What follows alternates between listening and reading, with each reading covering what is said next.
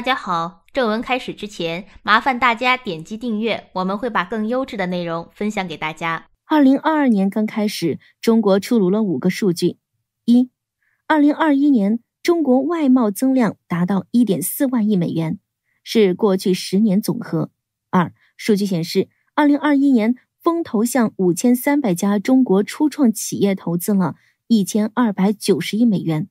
刷新二零一八约一千一百五十亿美元的记录。三，在二零一三年首次达到四万亿美元后，我国外贸在二零二一年内连续跨越五万亿、六万亿美元两大台阶，达到六点零五万亿美元。这一年的外贸增量达到了一点四万亿美元，相当于二零零五年全年外贸规模。四，商务部一月十三日公布的数据显示。二零二一年，我国实际使用外资规模超一点一万亿元，再创历史新高。五，据海关统计，二零二一年我国货物贸易进出口总值达到了六点零五万亿美元，首次突破六万亿美元关口。这些数据怎么看？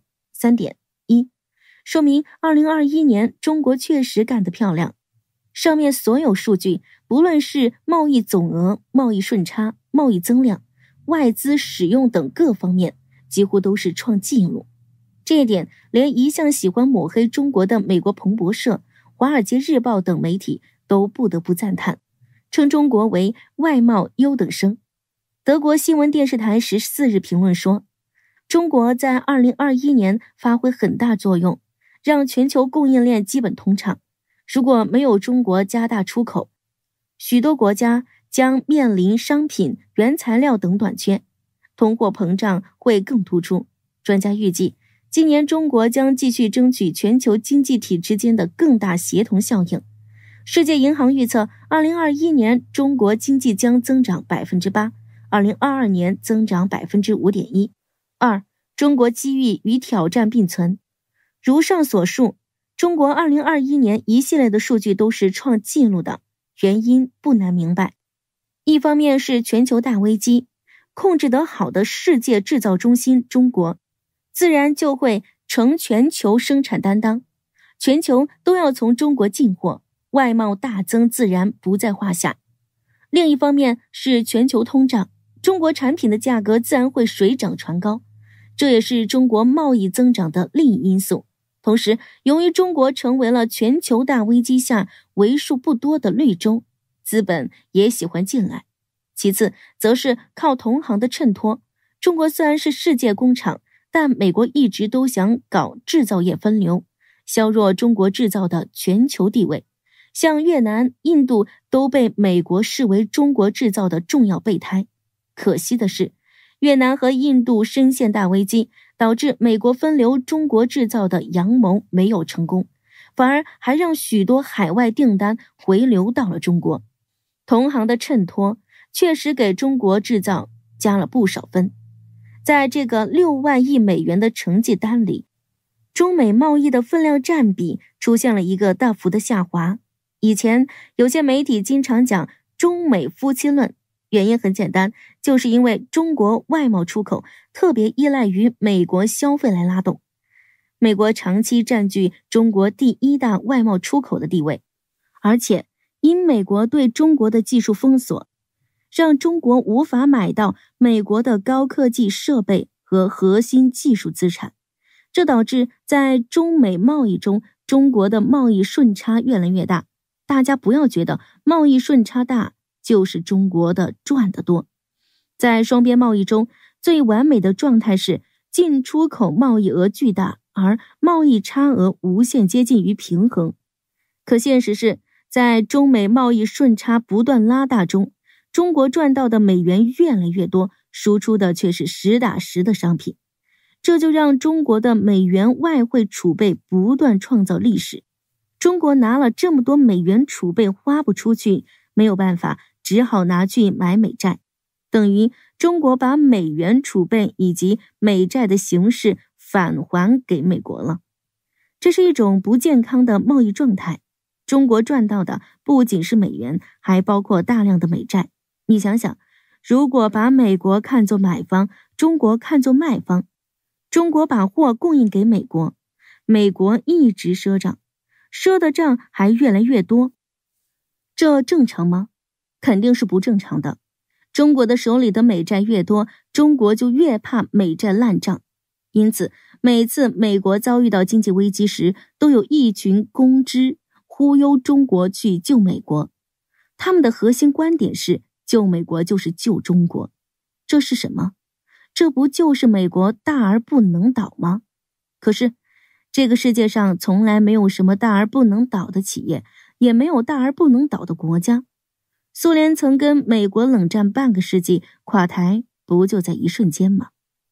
中国要做的不是救美国，而是如何缩小美债的风险，如何降低中美贸易额的权重，如何寻找美国以外的更大市场。做生意，鸡蛋不能放在一个篮子里，国家之间的贸易也是如此。尤其是中美贸易摩擦越来越激烈的当下。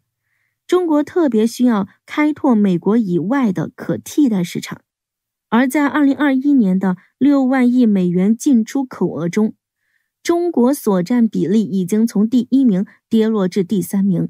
第一名是东盟，第二名是欧盟，美国滑落到第三的位置。这意味着以后不要再讲中美夫妻论了。欧盟有四点四八亿人口，东盟有六亿人口，合计就有十点四八亿。而美国只有三点三亿人口，就消费力而言，欧盟丝毫不弱于美国；而论发展潜力，东盟的经济增速则位居全球前列。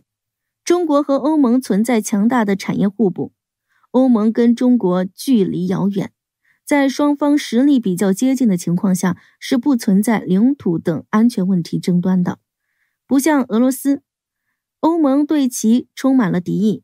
中欧关系在利益上本质上是中性的，双方最大的冲突在于意识形态的冲突，但这种意识形态的冲突无非就是打打嘴炮，真正落实到利益上来，欧盟还是很务实的。